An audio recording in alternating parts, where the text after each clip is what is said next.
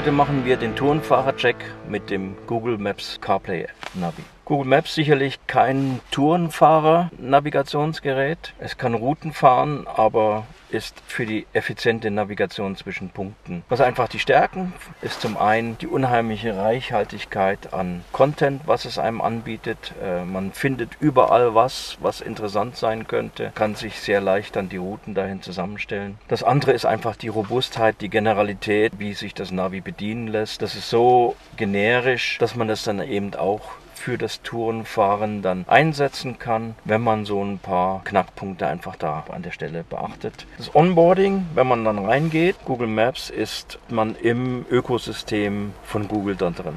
Man braucht ein Google-Login. Wenn ich dann aber da drin bin, dann kann ich in den Einstellungen recht gut steuern, welche Daten ich bereit bin von mir preiszugeben. Google Maps lässt sich auch ohne Konto verwenden. Man kann das hier auch sagen, explizit anschalten. Dann ist man quasi anonym. Aber da hat man natürlich dann auch die ganzen Features wie personalisierte Listen mit Zielen dann nicht mehr. Von dem her macht es durchaus Sinn, das mit einem Google-Account äh, dort zu betreiben. Man kann dann aber immer noch einschränken, dass man bestimmte Informationen nicht preisgibt, wie zum Beispiel ein Bewegungsprofil, Aufenthaltsorte und so weiter, die dann automatisch ermittelt werden.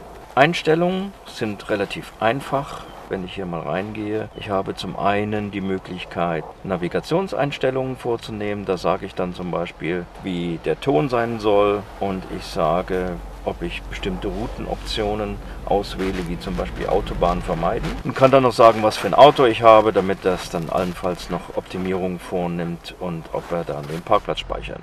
Die große Stärke eben ist einfach der Content, die, die Möglichkeiten, die man da drin findet. Man sieht hier, es gibt so vorgefilterte Listen. Ich kann hier zum Beispiel sagen, ich möchte Restaurants sehen und dann zeigt er mir alles Mögliche von der Umgebung an, was ich dort angeboten habe. Sehenswürdigkeiten genauso. Der Ansatz mit dem Google Maps ist, ich gucke mir eine Region an, in die ich hin müsste. Ich kann hier sagen Bad Brückenau.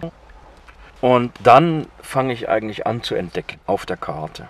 Es gibt hier ein paar Bilder von der Region, die mir einen Einblick von der Umgebung vermitteln. Es gibt Links auf Kategorien, Point of Interest, Attraktionen, Hotels, Parks und so weiter. Da fange ich jetzt an zu suchen, was gibt es da für interessante Punkte und kann zum Beispiel hier einfach mal über die Karte drüber browsen, um allenfalls was zu entdecken, was mich interessiert. Fotos dabei jedes Mal. An jedem Ort gibt es die Möglichkeit, Rezensionen einzulesen, Punkte in der Nähe zu finden, was es noch gibt, Fotos von der Umgebung anzuschauen. Dadurch kriegt man einen sehr guten Einblick Genauso gut habe ich dann eine Satellitenkarte. Insbesondere am PC ist es dann ein guter Einblick mit dem 3D-Ansicht mit Satelliten, um so ein bisschen über das Höhenprofil eine Idee zu kriegen, wie es da aussieht. Fahre ich durch Wald, fahre ich durch kahle Ebenen, fahre ich über Hügel drüber, wie läuft die Straße dort an der Stelle. Und dann eben zusammen mit dem Straßenverlauf selbst und der Topografie der Umgebung und den verschiedenen Zielen, die ich dann da anschauen kann, gibt es mir eigentlich einen super Einblick, dort in die Umgebung dort reinzukommen. Und man kriegt dann mit der Zeit so ein bisschen den Blick da dafür, was sind interessante, schöne Strecken, die es sich lohnt dort zu fahren. Also typischerweise dann immer so was Kurviges. Dann hat man dann meistens auch so einen Punkt Viewpoint hier, wo man dann schauen kann, wie sieht es da aus. Also Inspiration ist beim Google aufgrund der vielen Inhalte, die man in der Karte dort hat, ist die grandios. Man muss nur in eine Gegend schauen und dann sucht man sich da seine Ziele aus. Links in Wikipedia hat man dann noch dabei, was natürlich super convenient ist, dann wenn man auf die Hotels drauf geht, meistens dann die direkt den Link in das Buchen von dem Hotel, in vielen Restaurants direkt den Tisch reservieren. Also das ist super angenehm und einfach, macht es einen dort zu reisen. Nicht so sehr in Deutschland, da ist es glaube ich aus rechtlichen Gründen verboten, aber wenn man mal hier guckt, wenn ich hier schaue, wo ich jetzt gerade stehe, an dem Punkt, dann hat es auch das Street View. Das heißt, hier kann ich einen Live 360 Blick riskieren von der Umgebung, in der ich gerade unterwegs bin. Ja. Und da kann man auch ein bisschen die Straße lang gehen und gucken, wie es jetzt so läuft. Und das vermittelt einem, einem einen super tollen Eindruck über die Landschaft, wo es lang geht, um da sich dann eine Route zusammenzustellen.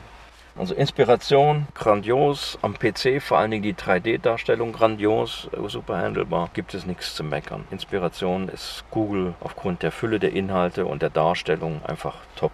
State of the Art. Wenn man sich so hat inspirieren lassen, geht man in die Planung rein und das kann man entweder am PC oder auch hier am Handy machen. Was einfach wichtig zu beachten ist an der Stelle, die Routenplanung, die ist nicht persistent äh, in, in, in der Google Maps App. Ich kann hier planen, aber um mir das zu speichern, muss ich so eine Planung dann aus der App raus exportieren.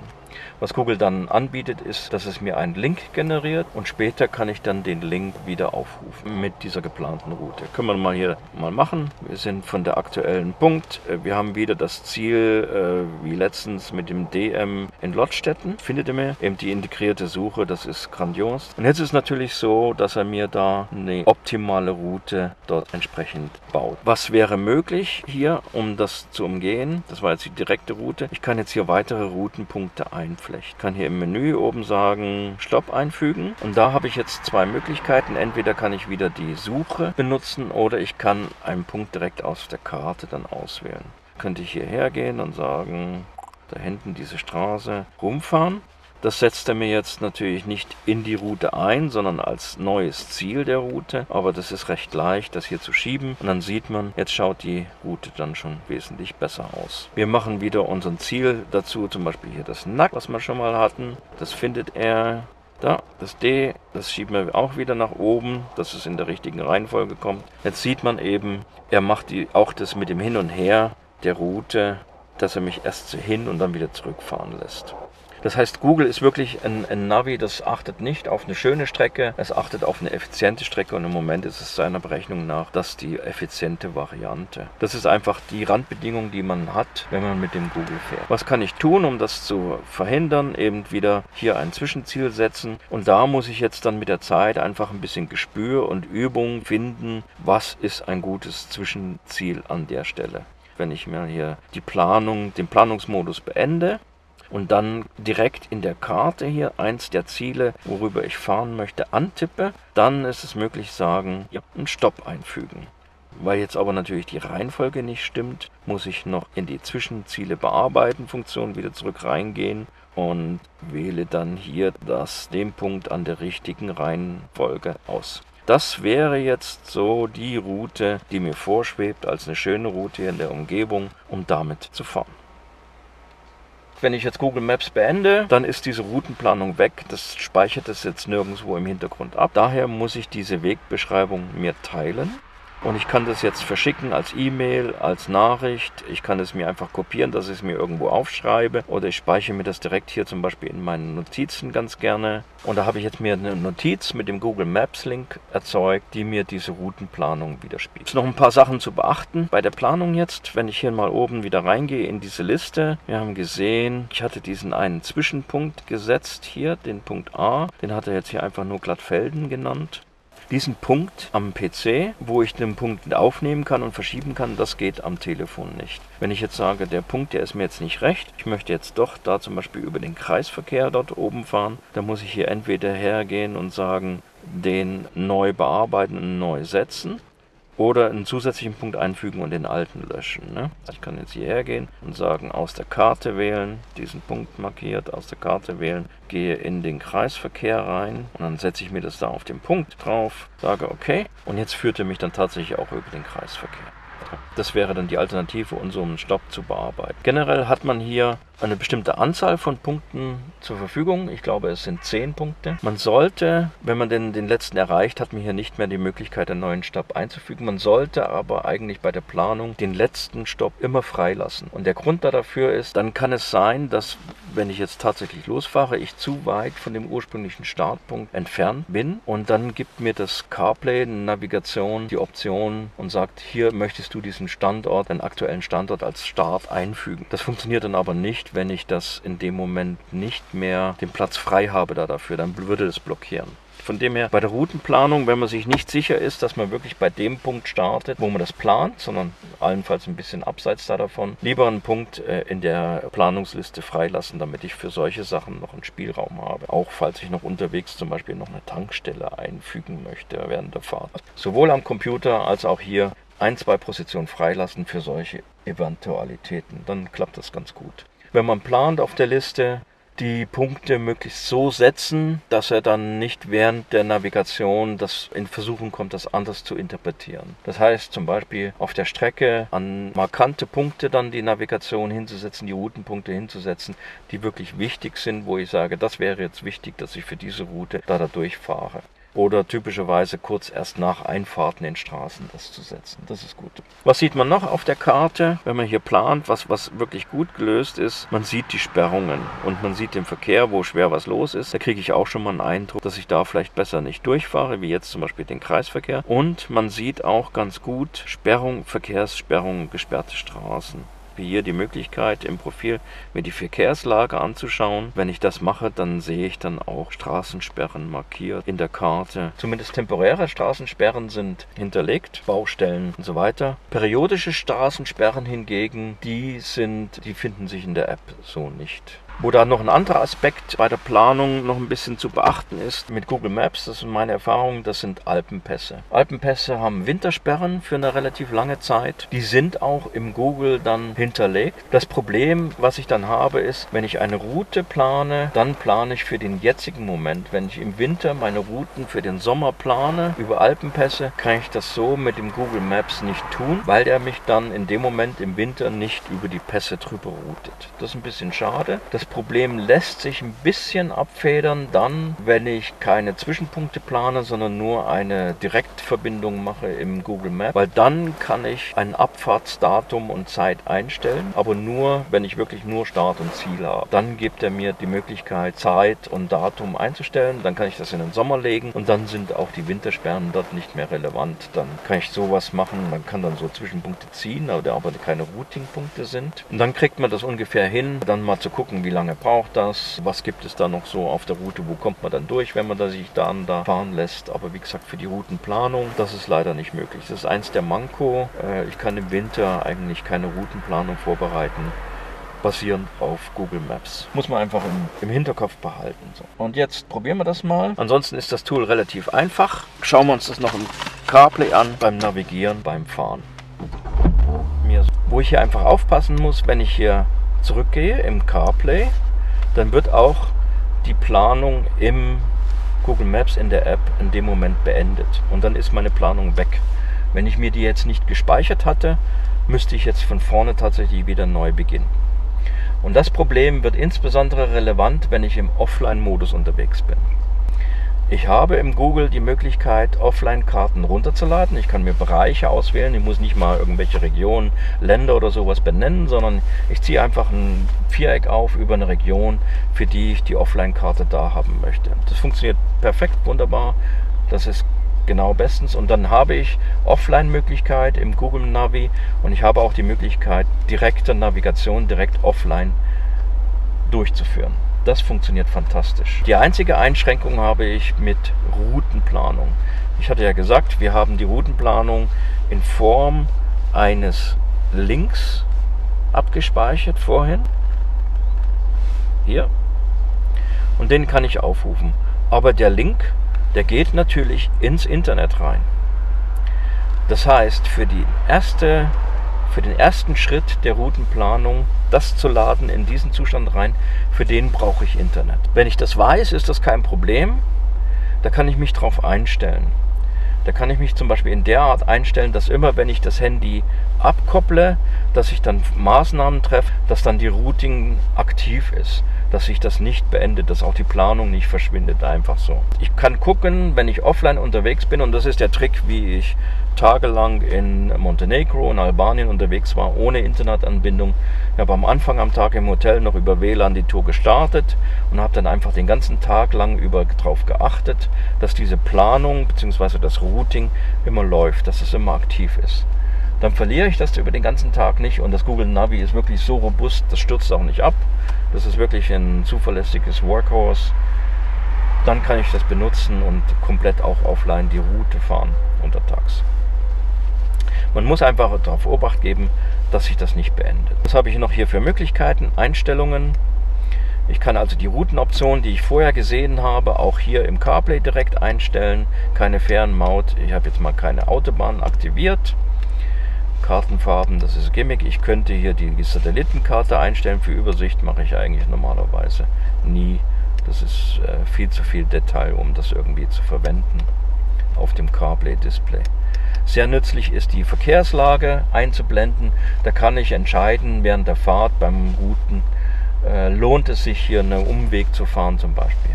Und was ich super schätze, ist die Nordausrichtung. Und mit Nordausrichtung stellt ihr mir die Karte immer 2D flach äh, genordet da.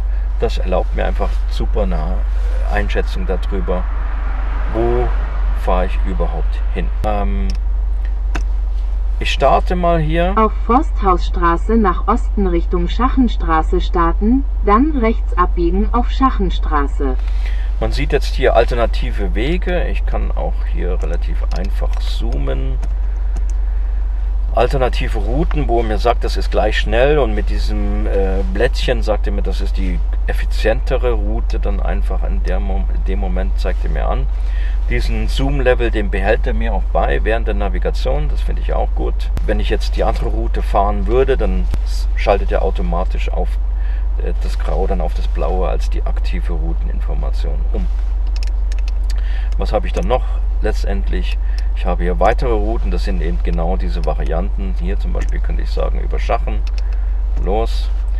Auf Forsthausstraße nach Osten Richtung Schachenstraße starten, dann links abbiegen auf Schachenstraße. Ich kann während der Fahrt, auch während der Route hier weitere Punkte hinzufügen. Das sind entweder äh, fixe Kategorien, die ich jetzt auswählen könnte, zum Beispiel die Tankstellen, wo er mir aussucht listet mir verschiedene Tankstellen hier im Ort zum Beispiel dann da drin rum. Kategorien und das zweite ist natürlich mit Spracheingabe. Hofladen Schachen.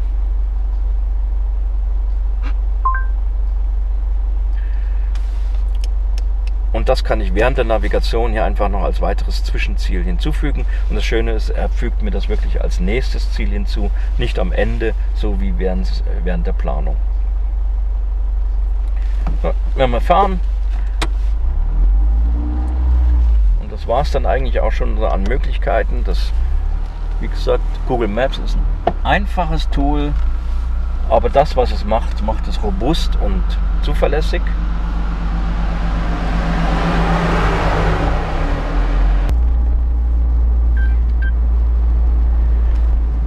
Diese Zuverlässigkeit kann ich das für meine Zwecke während einer Routenplanung entsprechend einsetzen. Das macht es so angenehm.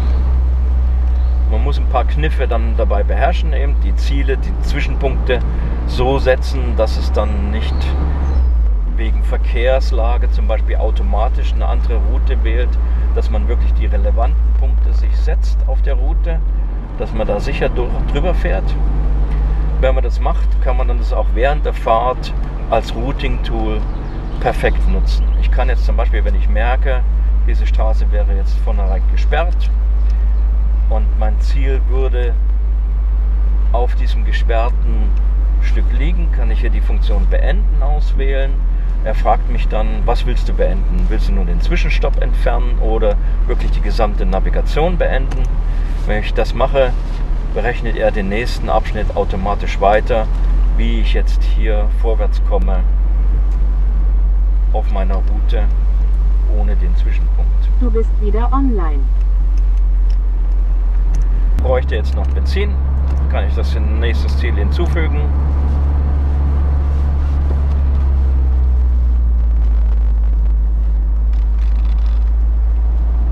Das ist die Dorftankstelle oder die Tamoil oder die Shell.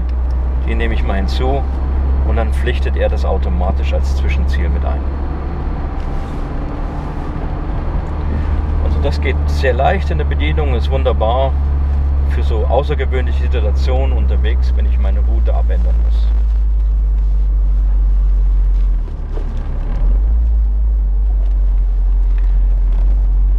Und das ist im Prinzip schon alles, was ich von Google Maps bekomme. Wie gesagt, die große Stärke von dem Tool ist vor allen Dingen die Inspiration, das reichhaltige Kartenmaterial.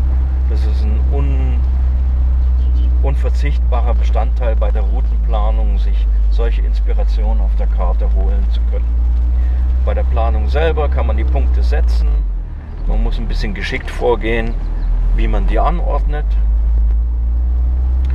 Doch dann kriegt man auf der Karte einen recht guten Eindruck anhand der Straße, wie sie modelliert ist. Und anhand der Geländeinformationen, 3D-Informationen kriegt man einen sehr guten Einblick, um was für eine Route es sich da handelt. Und äh, super ist im Prinzip, dass man unterwegs so Ziele als Stops schön findet, äh, die auch wirklich dann interessant sind. Und durch die Einblicke mit Fotos und Beschreibung und Rezension äh, gute Werkzeuge an die Hand kriegt, um qualitativ hochwertige Ziele sich für die Tour zusammenzustellen. Wo ich das Google Maps so sehr für mag und wo es bislang mein präferiertes Tool ist für Routenfahren, für, insbesondere für geplante Routenfahren. Weniger für spontane Routen, dafür ist es nicht so gut. Abbiegen auf. Aber für geplante Touren ist das durch die Zuverlässigkeit das Tool der Wahl für mich. Für das Routen- und Tourenfahren. Obwohl es eigentlich kein Tourennavi ist. Und das ist fantastisch eigentlich. Dass es so robust und zuverlässig funktioniert. Am Ende, wenn man sagt, okay, die Route, die ist jetzt fertig, dann ist das eben wieder so beendet. Ich kann ja sagen beenden. Dann ist es auch wirklich fertig.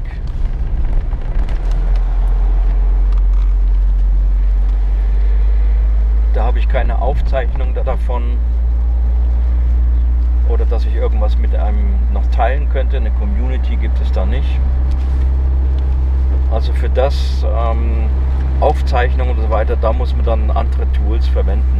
Gut, und ansonsten war es das. Schlicht, einfach, aber zuverlässig. Man erlebt eigentlich keine Überraschung mit dem Tool. Und das ist das, was man an einem Tourenfahrer-Navi so sehr schätzt. Dass es einem vor Überraschungen bewahrt. Und für das ist man gerne bereit, in Kauf zu nehmen, dass man an manchen Stellen sich ein bisschen das zurechtbiegen muss, dass es so funktioniert, wie es sein soll. Bis zum nächsten Mal.